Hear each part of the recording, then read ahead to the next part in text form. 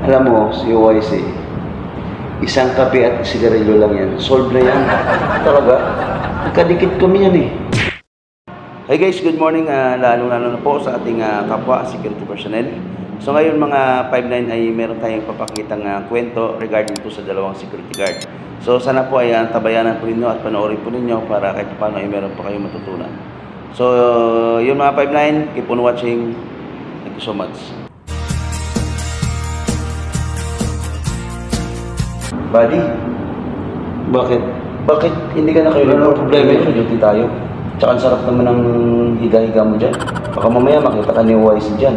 Wala yan kay YC, walang problema yan.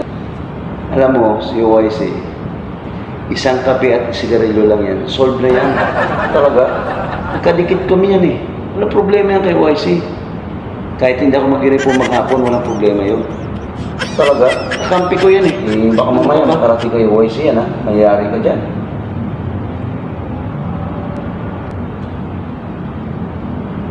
Alam mo ka masyado kasi marunong makisama. Dapat marunong kang makisama sa mga opisyal natin. Bigyan-bigyan mo kasi. Ah, ganun. Yan lang naman ang kailangan ng mga opisyal natin eh. Abot-abutan mo lang, solve na yun sila. Kahit mga inspektor. Yun lang yun. Pero siyempre, kailangan naman. natin mag-uniform dahil uh, on duty tayo. Tapos baka Oo mamaya, naman. madaanan tayo ng inspektor natin, mayayari ka dyan, relationan ka, tapos masuspended ka. So, yung problema yun. kaya-kaya ko sa akin yung YC yan, walang problema dyan. Punta ka na Diba? sa gusto mo.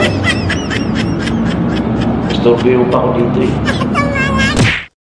So yun mga 5 maraming salamat po sa panonood sa aking uh, binahaging video. Sana po ay meron kayo napulot na aral or uh, meron po kayo natutunan sa ating kwento. So yun mga 5 maraming maraming salamat po. God bless us all.